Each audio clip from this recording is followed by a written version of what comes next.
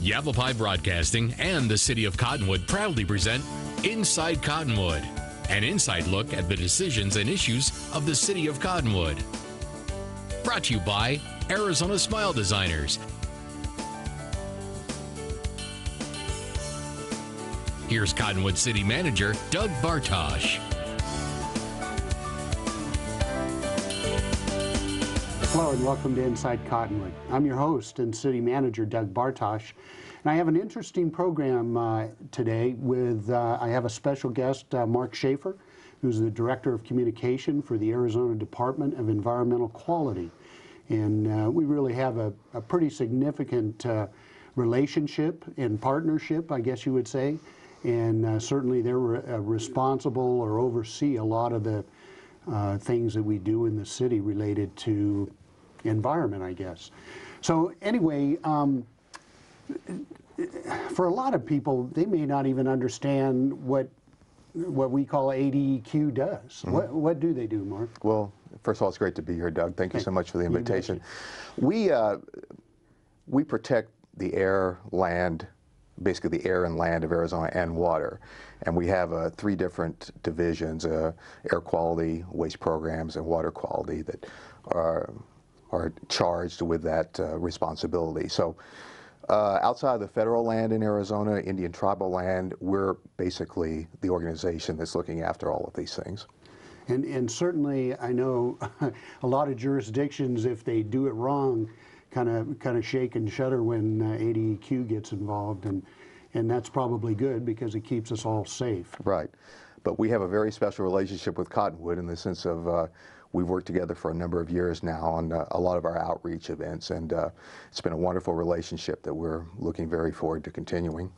And and that's a great segue into the next uh, partnership event that, that uh, we've worked on a couple of times together now, and that's the, the e-waste uh, disposal or uh, pickup. I guess we don't really pick it up mm -hmm. other than to put it in the truck. But right. um, talk about the history of that, because both you and the mayor have worked pretty extensively to make these happen, and it's really it's really been a success. Right.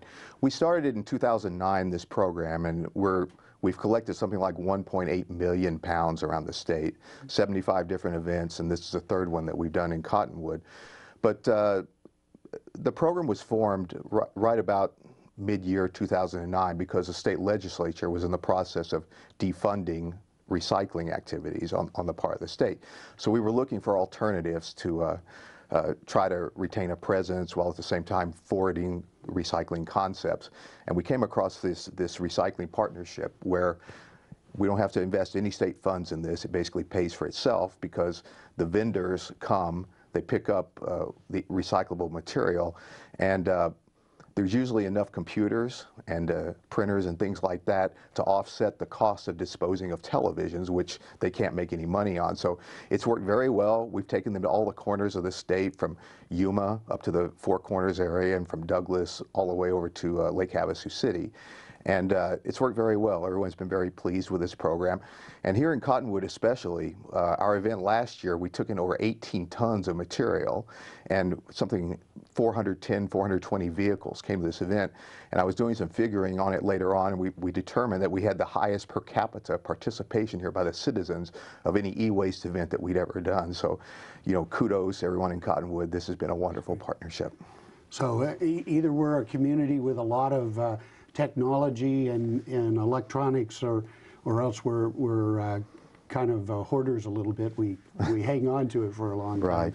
One way or the other, it's good to keep them out of the landfills and, and get them recycled. And, you know, I think people would probably be curious, what, what is it that they recycle out of the electronics? Well, there's a lot of stuff. Um, in particular, the, the, thing of most value is a copper wiring inside each of the computer units. As a general rule, you have four to five pounds of that, of that wiring, and that's five to six dollars on the open market now. So they do make money there. Uh, they make a more limited amount on the plastics. Uh, they take the motherboards and circuits out, they shred those, so there's scrap metal money that they make off the things. But generally, they just take all of these various components and they bundle it down to their factories in Phoenix, and then investors, mainly from abroad, come over, like China. This is a very important destination for them as to coming and picking up various uh, recycled electronic products, and they recast it abroad and do other things with it. So uh, there's a good symbiotic relationship here throughout. Yeah, that's great. And and I know um, we talked a little bit about it uh, before the show. Is some people may have concerns if they bring a computer in, what happens to the hard drive? Uh, you know, can they be assured that you know it's it's secure how you guys handle it, and if they have any personal information on it? Yeah, absolutely. Uh, what we recommend uh, is if a person is capable and they can pull out the 10 or 12 screws that are involved, that they take the hard drive out themselves and crush it. And that's, a, that's the most secure way of knowing that you've destroyed the contents of your hard drive. But barring that and the fact that most people don't do that, what we do is uh, it's taken down to the, the factory of, the, of whichever company that we have co-sponsoring the event. And the first thing that they do after uh, offloading their uh, trucks is they'll take that in and, and, pull the screws and pull the hard drive themselves. And there's a special piece of equipment that actually crushes a hard drive. So that process is done first before any of the other recycling processes are done. So we've probably gotten people excited about this about this next upcoming e-waste, and we haven't told them when it is or or what time and, and stuff. And it's on uh, February 23rd. That's right. Uh, from 9 until 1. Correct. And uh, if you're serviced by uh, Cottonwood uh, Water Services. You should have received in your uh, in your bill this month a advertisement of the e-waste event and also a map as to how to get there. And it's going to be in the same place where we uh, dispose of, and, and, there's actually a map on the screen now, where you would come to drop, drop off your uh, cleanup materials when we did the uh, citywide cleanups. But it's uh, essentially straight up Mingus again, and, and you turn at the, uh, I believe it would be the second street on your right, and just follow that road out there, and, and you'll see we have plenty of space out there to, to handle the crowds because we do seem to get very good crowds for this. Now, I know the other thing that you're talking uh, about providing, or you are going to provide, is uh, shredding, document right. shredding. Mm -hmm. Talk a little bit about that, Mark. Yes, we uh, we added that uh, to our program last year in, in, Metropolitan Phoenix, and it proved to be such a success. There, we at times we're taking in 10 to 12,000 pounds within two hours of, of, the start of these events. And what, what's involved there is that people that have uh, kept their documents over time, income tax returns, any kinds of old papers that they want to get rid of, and certainly there's a lot of that going on now with uh, people putting everything on, on computers. What they can do is uh, bring this to this event, and uh, this truck that we're bringing in will probably hold 11 to 12,000 pounds. So, you know, fingers crossed that we can accommodate everything that, that's taken in here. But what will happen is that uh, they have several trash containers that's outside the truck. So people can come and park and watch their documents being shredded. They'll, they'll put them in the, uh, the, the trash containers and when a trash container gets full, they have an automatic lifting device that, that puts it into the shredder on the truck. So I, am very curious, uh, you know, the reaction to that because it's been very, very popular everywhere else that we've done it. You know, and, I, and that reminds me, I think I have my tax returns for probably about 12 years, and I don't think I need to keep that much. But so I may be there to good, shred good, some good. documents as well. Mm -hmm. So um, the shredding thing is is I think you were saying is something recent. You just mm -hmm. just started that program. Right. And, and what was the, the impetus behind that program? Well, the impetus behind all of our program is, uh, given the current state of lack of money of recycling in the state of Arizona, is to try to come up with ideas that we can do for free where it's mutually beneficial to private industry, uh, the citizens, the sponsors, you know, our aims of protecting the public health and environment of Arizona, and also the aims of the city, because uh, in some communities, these paper shredding events are used as fundraisers for Boy Scouts and Girl Scouts and other organizations, and we, we allow that to, to go on. We don't set up our own free event if that's currently right. happening, but in areas that haven't had that, this, this is a good free alternative. It prov provides a public service for people, so been very popular, and we hope to continue in an even larger form in the future. And, and then again, when we talk about electronics, you probably can't name them all, but I mean, just kind of categories of what we're talking about. Right. Well, the main thing we, we take in, the, the number one thing is televisions. And uh, this is something that we're very passionate about because televisions are the things that create the most problems for the landfills. There's so many of them. They're huge. Uh, Many of them go back into the 1970s, even back wooden console days and things like that. So that is really what we don't want to see in landfills. And anyone can attest as to the initial cleanups in the Cottonwood area. They were finding so many of these things in the arroyos coming down from Mingus and everywhere. So we target those. We offer to pick them up for free because those have been traditionally charged for in the electronic waste events in the past. So that's the number one thing on the list. Then the other things that, that we target, computers. Uh, and by the way, 85 to 90% of everything that we take in is recycled. Uh, what's not recycled, uh, they might find a few pieces during the day that can be repaired and sold, mm -hmm. sold on eBay or something like that. But for the most part, just everything is recycled. So uh, after televisions, computers are the next most popular item, and, and those are completely recycled. Uh, printers, DVD, VHS players, all these kinds of things. At times they can be repaired, but for the most part, they're also recycled. Uh, we take in a lot of cables and cords and various things like that. Uh, we also encourage people, another big service of this is we encourage people everywhere to package up their like A, AA, and AAA batteries and put them in a, in a plastic baggie and bring those in because those also can be recycled. Most people don't know about that and that's, that's a problem in the trash flow. So many of those things are thrown away. Yeah. So we encourage people to bring those and uh, when it's all said and done, we have a lot of stuff. So it's a, it's a great opportunity, really a great program. So again, January 20, or excuse me, February 23rd, 9 to 1, uh, up on West Mingus, right behind the wastewater treatment plant. Um, come out and join us. Uh, like I said, we had a great response, and you may want to get there early, particularly if you're uh, shredding documents. Absolutely. Let's go ahead and take our first break, and then we'll come back and talk about a couple other programs that uh, we're involved with it, with ADEQ.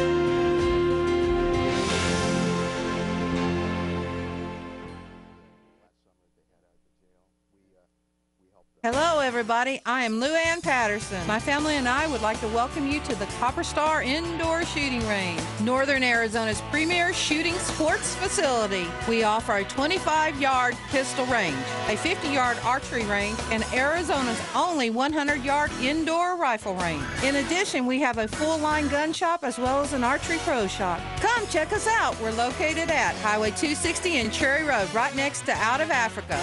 Looking forward to seeing you all.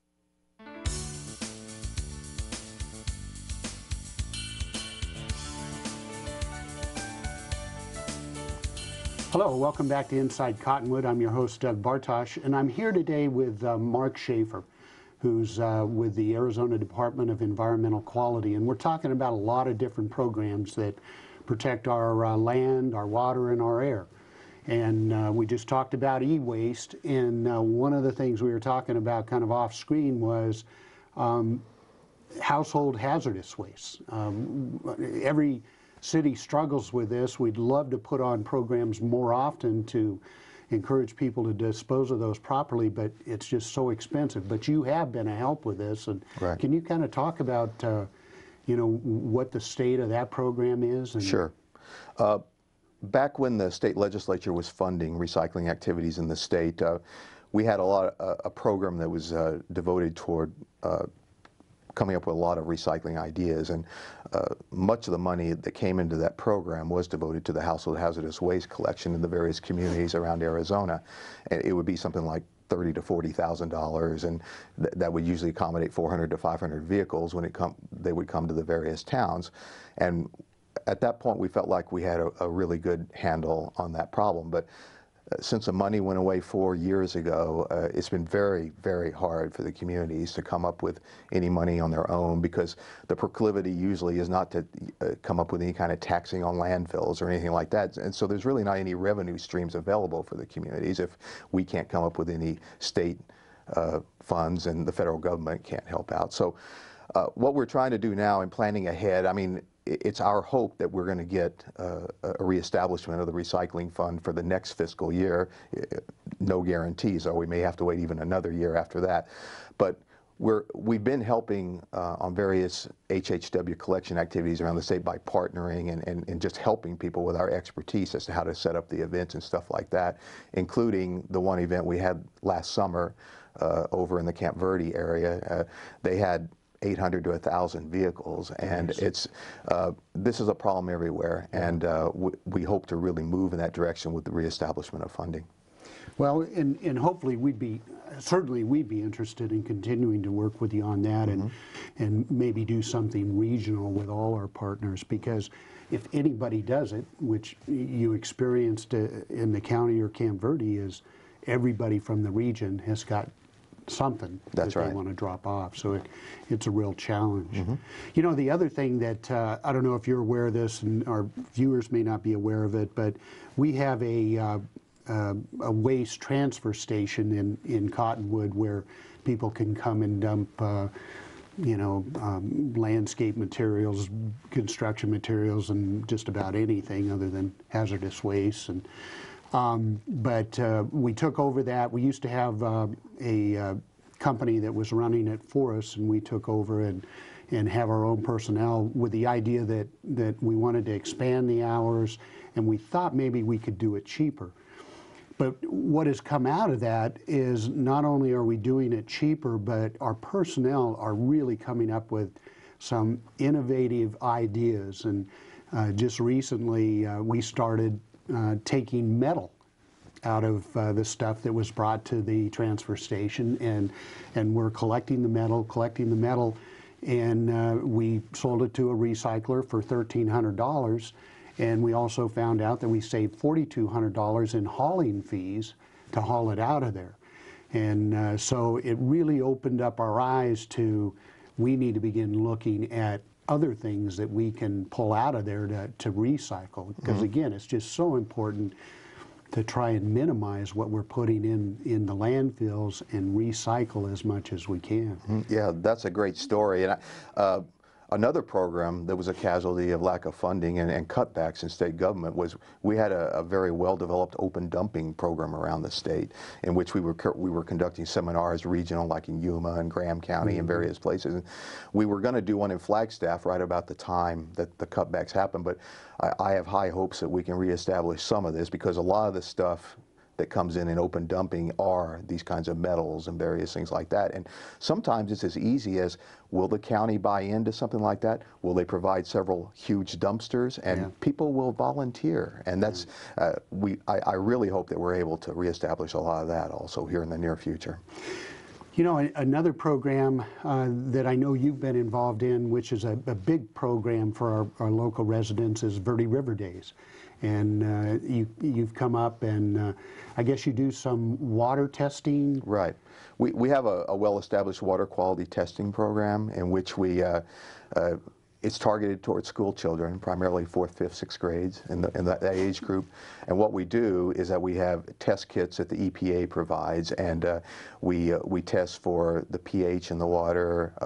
We, we test for, you know, how, how thick the, the uh, sediments are, things like that. We test temperature and things like that. And we, uh, this is a great educational opportunity for the kids. They love it, and it, it really develops an appreciation for love of science. So that, that's probably the most important thing, because we have a number of hydrologists and geologists that work at ADEQ. They love doing it. They love to see the future generation, you know, pick up some of the things that they were taught about that age group, and it just really, really. Provokes a love of science. You know, and that's that's so important too to create that next generation of, and just get that understanding of how important water is. I know we participate in the WET program with the county here to educate, um, you know, elementary school kids. We've even gone in, now into the kindergarten uh, age groups and began to educate them about water, water conservation, uh, those kind of things. So it, it, it really is uh, gratifying to see how active not only ADEQ but our local community has become about uh, water education. Probably the kid, the thing the kids love most is the turbidity aspect of this because they can they can see the roiling, uh, you know, sand inside the water and stuff, and they get a really good clue as to uh, you know things about erosion and things such as that, coloration of water, how much of it's coming down a Sycamore Canyon or whatever, Yeah. and things like that. You know, and, and we've actually gotten calls from parents saying, uh, hey, um, you know, my kid was bugging me about turning off the uh, faucet. And uh, goes, so your program's working. And so that's fantastic. Let's go ahead and take another break, and then we'll come back and talk about uh, um, one of the other real in- innovative programs we've got going on here in this city. Come back and join us.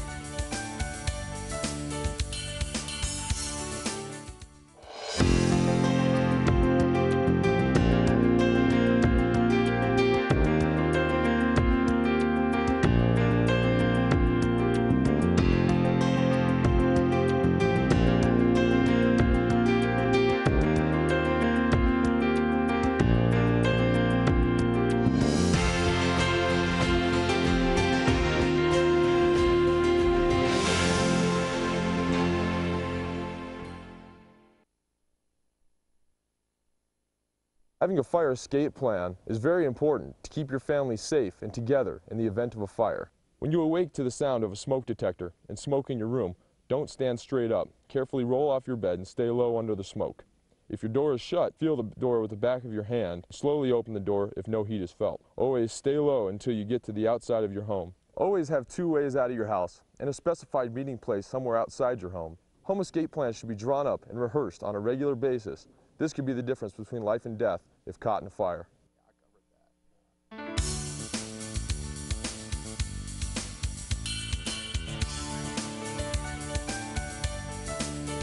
Welcome back to Inside Cottonwood. I'm your host, Doug Bartosh, and I'm here with uh, Mark Schaefer from the Arizona Department of Environmental Quality talking about uh, various programs.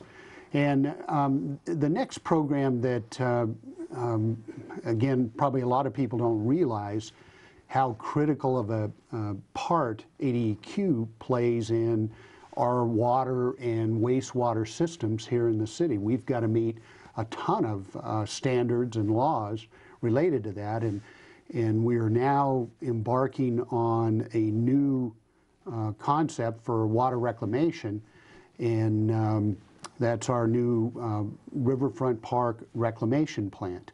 And uh, I, I want to talk a, a little bit to Mark about um, how intensive the permitting process is for something like that, and, and kind of what you guys look at, and and um, just that whole process.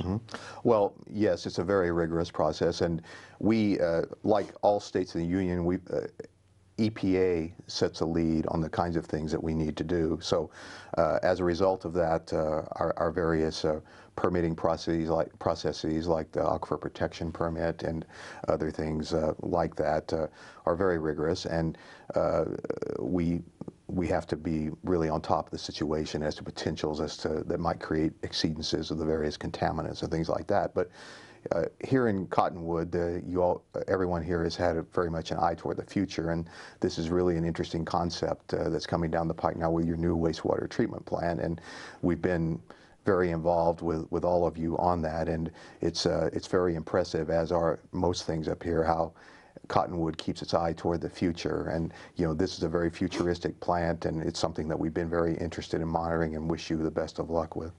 Well, and, I, and, I, and as you and I had talked about, I, I think this for us really sets the model for how we're going to have to treat water in the Verde Valley. Um, Absolutely. you know, we're currently recovering about 66% of the water we provide through our wastewater system. And um, eventually, we're going to have to just reuse that water over and over and over again. That's right. And as you probably know, the, the whole wastewater issue has been very emotional up at the Snowbowl.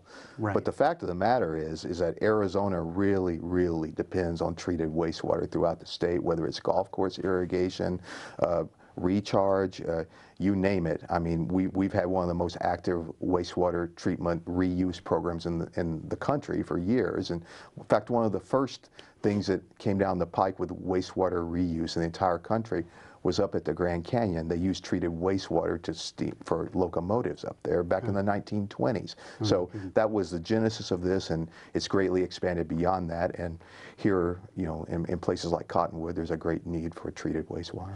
Well, and certainly is, is uh, where we're building it, it gives us the, really a great opportunity to reuse the reclaim, to water our sports fields, uh, potentially share it with uh, the state parks, uh, take care of our cemetery area, and um, not use water out of the river, which is currently what we're doing. We have a cottonwood ditch allocation, and so we pump water out of the ditch to water those fields currently. And, and uh, so we'll be able to keep that water in the river, which is everybody wants to see. Absolutely. And, and use this reclaimed water. And, and it really is uh, clean stuff. And, and I don't know if you're that technically savvy, I'm not, but um, we know it's, it's grade A plus, which uh, is very clean water. And then we are also uh, removing pharmaceuticals.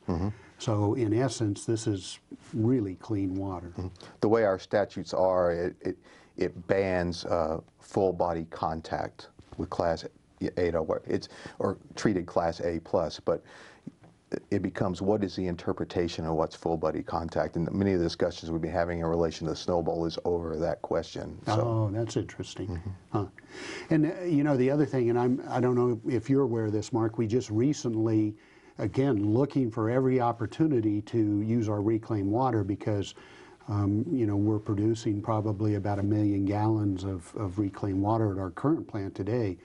Uh, but we just signed an agreement with Yavapai College to provide them with reclaimed water for their, um, their vineyards. And uh, we'll start out probably at somewhere around 250,000 gallons um, a month and build to the potential of around 2 million gallons a month of water to water their vineyards, which again project. is appropriate uh, because uh, um, class, class A plus can be used for, for agriculture. That's So, right. Um, so, but it's a great, great project. Will save them a lot of money and, and really make, make their Southwest Wine Center even more unique in, in terms of uh, the wine making process. But- What a great idea that is. but I just thought I'd share that with you. You know, the other thing is um, that I know we recently partnered on, we bought a, um, an old, I guess, recycling center junkyard in our Old Town area and, and uh, actually didn't buy the junkyard, we bought the property that it was sitting on. And um, recognizing that it was impeding economic development in our, in our Old Town area, which um, was a great investment because now our Cottonwood in our Old Town area is listed as one of the top 10 Lonely Planet destinations uh, in the United States. So um, that's a fan, that shows how much this has turned around. But obviously, when the uh, junkyard moved out, we were still concerned about contaminants and. And we coordinated with ADEQ in terms of looking for grant money to help us not only test it but clean it up. Ta- Talk a little bit about that program and how that works. Yeah, absolutely. Uh, our Brownfields program is one of the uh, programs that we're most proud of that, that we do. Um, uh, that particular project was, you know, fantastic. It, you know, it, it blew our people away in the sense of this is really good investment of money because it's it's going to a historic district that's popular among tourists. I mean, it fit all the criteria, and we funded that to the extent of fifty thousand dollars to do some of the initial probing and seeing what's beneath the surface there. The Brownfields program, we, we've done a lot of great stuff around the state in that. Uh, uh, Tempe Marketplace, that was a 160 acre landfill basically Mm-hmm. Oh, no at one kidding. time, and we spent a lot of money and time, and it became one of the, the premier commercial sites in the state of Arizona. Uh, we had uh two or three rounds of brownfield funding up in Flagstaff, and they developed their central transit center around that, and uh, that that's a very beautiful area right now. Uh, We've uh, we helped uh, even down the border uh, with Mexico, uh, Naco down in that area. There was some old Buffalo soldiers' barracks that were refurbished, and we provided the the money to look at uh, how much asbestos was involved and various things like that. And they were able to reestablish some of that big historical value down there. So, yeah, we were excited about the project here in Cottonwood.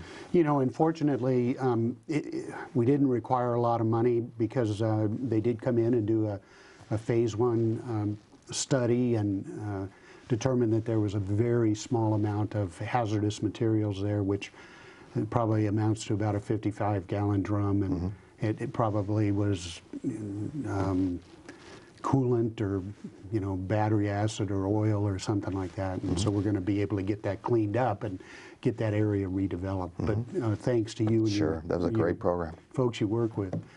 Well we're out of time mark. And um, I, I just want to thank you for your partnership and really enjoy working with you in ADEQ and we look forward to a very close uh, positive working relationship in the future. Great, thanks so much, Doug. come back and join us again on inside cottonwood